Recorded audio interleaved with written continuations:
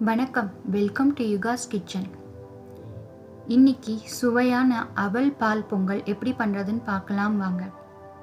இதுக்கு தேவையான பொருட்கள் ஒரு கப் அவல் அரை கப் சர்க்கரை முந்திரி திராட்சை மூணு ஏலக்காய் நாலு டேபிள் ஸ்பூன் நெய் ஒரு கப் பால்.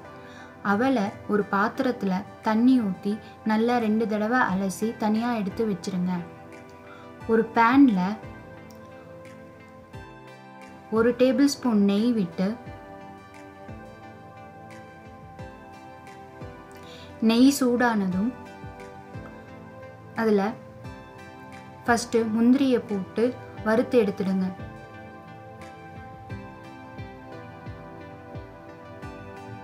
நல்ல பொன்னிறமாக வறுத்து எடுத்துடுங்க.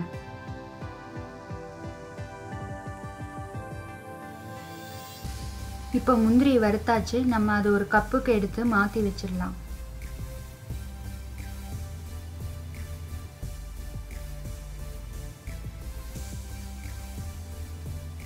அடுத்து திராட்சையை போட்டு அதே நெய்யில் வறுத்து எடுத்துடுங்க.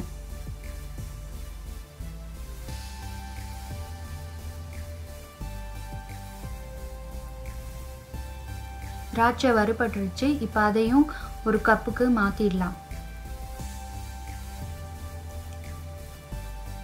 இப்போ மிச்சம் இருக்கிற நெய்யில் ஏற்கனவே அலசி வச்சிருக்கிற அவலை சேர்த்து நல்லா அஞ்சு நிமிஷம் வறுத்துடுங்க. அவலில் கொஞ்சமும் தண்ணி இருந்துடக்கூடாது. இந்த மாதிரி அவல் நல்லா ஊறி இருந்தால் நெய்யில் சீக்கிரமாக வறுபட்டுடும். இப்போ நெய்யில் அவல் நல்லா வறுபட்டுடுச்சு. இப்போது ஒரு கப் பால் எடுத்து அவலில் சேர்த்துடுங்க. பாலை நல்லா அவளோட மிக்ஸ் பண்ணி விட்டுடுங்க. மீடியம் ஃப்ளேமில் அவளையும் பாலையும் நல்லா பத்து நிமிஷம் மூடி போட்டு மூடி நல்லா வேக விடுங்க.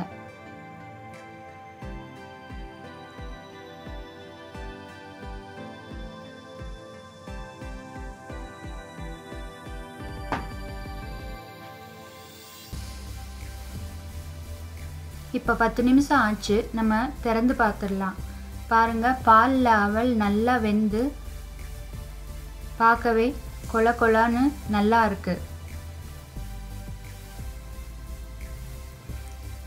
இப்போ இந்த இடத்துல அரை கப் சர்க்கரையை சேர்த்துடுங்க. சர்க்கரையை நல்லா எல்லா பக்கமும் சேர்ந்து அவளோட சேர்ந்து கலக்கி விட்டுடுங்க.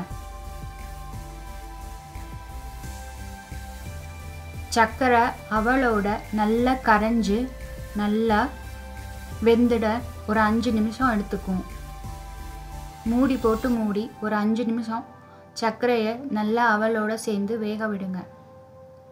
இப்போ அஞ்சு நிமிஷம் ஆச்சு. பாருங்கள் சர்க்கரை நல்லா கரைஞ்சு பார்க்கவே அவள் சூப்பராக இருக்குது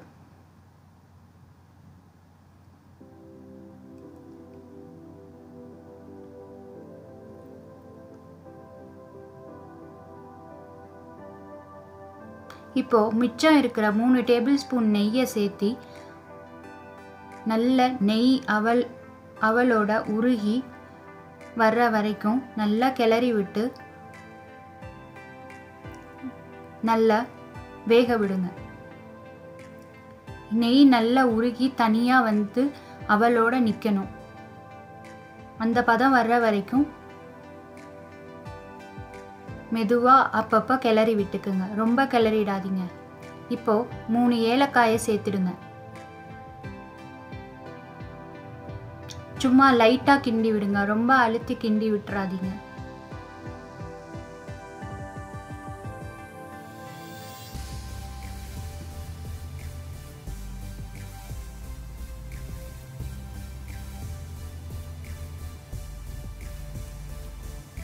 இப்போ நெய் கொஞ்சம் கொஞ்சமாக அவளோட சேர்ந்து நல்லா உருகி ஓரளவுக்கு வந்துருச்சு. இப்போது முந்திரியும் திராட்சையும் சேர்த்திடலாம்.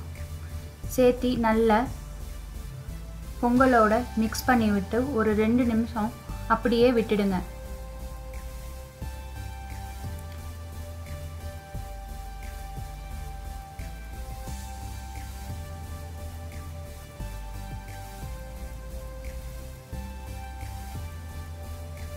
இப்போ பார்த்தீங்கன்னா பொங்கல் பாத்திரத்தோடு ஒட்டாமல் இந்த மாதிரி வரணும். இப்படி வந்துருச்சுன்னா நீங்கள் அடுப்பை ஆஃப் பண்ணி பொங்கலை இறக்கிடலாம். சுவையான அவல் பால் பொங்கல் ரெடி. பார்க்கவே ரொம்ப அழகாக இருக்குது பாருங்க கரெக்டான பொங்கல் கன்சிஸ்டன்சி நமக்கு வந்திருக்கு. இதுதான் கரெக்டான கன்சிஸ்டன்சி இந்த அவல் பொங்கல் கண்டிப்பாக செஞ்சு பாருங்க. ரொம்பவே நல்லா இருக்கும். கண்டிப்பாக வீட்டில் இருக்கிற பெரியவங்க குழந்தைங்க எல்லாரும் ரொம்ப விரும்பி சாப்பிடுவாங்க. சக்கரை பொங்கல்னு நம்பிடவே செய்வாங்க. நன்றி. இந்த வீடியோ உங்களுக்கு பிடிச்சிருந்தா லைக் பண்ணுங்கள் ஷேர் பண்ணுங்கள் மறக்காமல் யுகாஸ் கிச்சனை சப்ஸ்கிரைப் பண்ணுங்கள்